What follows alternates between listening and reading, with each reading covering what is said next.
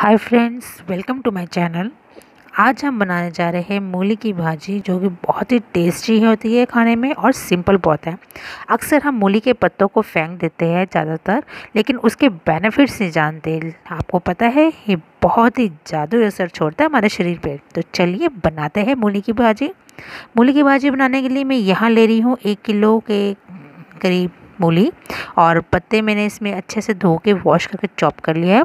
Friends इनकी leaves जो है हमारी थकान को दूर करने में सहायता करती है।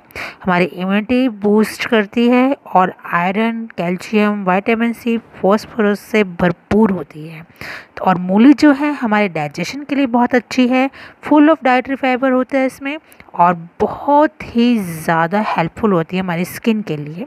ये हमें कोल्ड और कफ से बचाती है सर्दियों में। और हमारे ब्लड प्रेशर को बिल्कुल रेगुलेट करती है। तो देखा कितना फ़ायदा है इसमें? तो चलिए बनाते हैं रेसिपी इसकी यहाँ पे कढ़ाई ले रही हूँ मैं खुली और इसके अंदर हम लेंगे दो tablespoon around mustard oil यानी सरसों का तेल।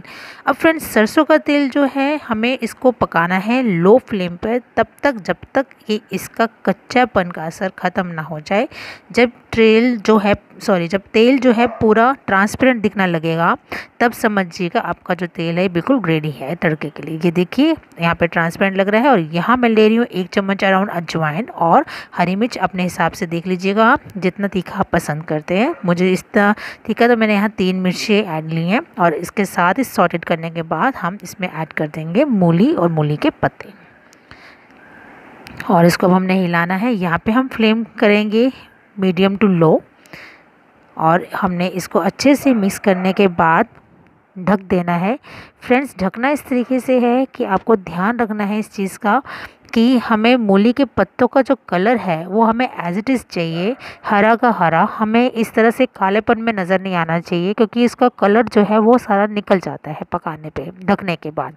तो अब हम इसको ढकेंगे किस तरीके से? पूरा नहीं हाफ़ कवर करेंगे। लाइक दिस ये देखिए, मैं आपको दिखाती हूँ। इस तरह से हम इसके ऊपर कवर लगा देंगे? आधा और आधा खुला छोड़ देंगे ताकि एज इट इज़ का कलर चेंज ना हो। और अब मूली को पकने देंगे, बीच में हिलाते रहेंगे।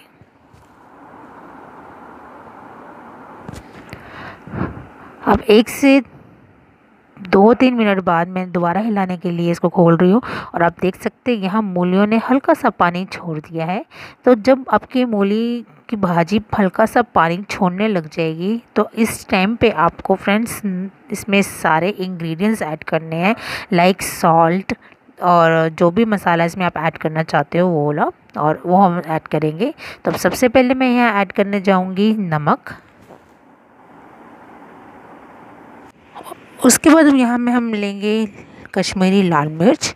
यहाँ मैं आधा चम्मच ले रही हूँ और लेंगे थोड़ा सा गरम मसाला, एक चौथाई चम्मच और हल्दी पाउडर, एक चम्मच।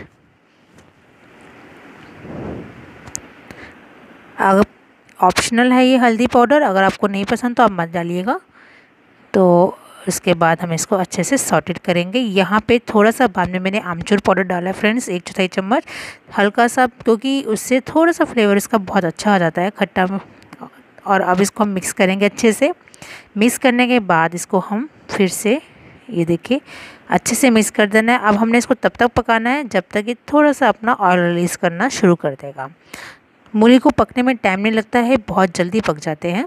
तो फिर से हम इसको इसी तरह से हाफ़ ढकेंगे और हाफ़ छोड़ देंगे। और इसके बाद अब आप देखेंगे तो ये देखिए, आपकी मूली की जो भाजी है बिल्कुल रेडी है। घी छोड़ चुकी है और अच्छे से पक चुकी है, बहुत ही अच्छे तरीके से। और इसको हम अच्छे से हिला के देखते हैं। ये देखिए बहुत इजी रेसिपी है, बहुत ही हेल्थ बेनिफिट रेसिपी है, बहुत फ़ायदे हैं इसके और ख़ासकर वेट लॉस में भी बहुत हेल्प करती है मूली की भाजी। और इस तरह से हमने इसको हिला देना है और अब इसको चेक करना है के लिए, आप चेक कर सकते हैं। कोई भी एक पीस मूली का उठा के इस तरह से उसको प्रेस करके देखेंगे, अगर वो प्रेस होकर बिल्कुल मैश हो रही है इट मीन्स आपकी मूली की भाजी बिल्कुल रेडी है। तो बस आप सर्व करेंगे और गर्मा गर्म रोटी के साथ खाएँगे और इसके साथ दाल बहुत अच्छी लगती है फ्रेंड्स अगर आप ट्राई करेंगे तो मुझे ज़रूर बताइएगा। If you like my recipe so please like my channel subscribe my channel and share this recipe with your family and friends till now bye bye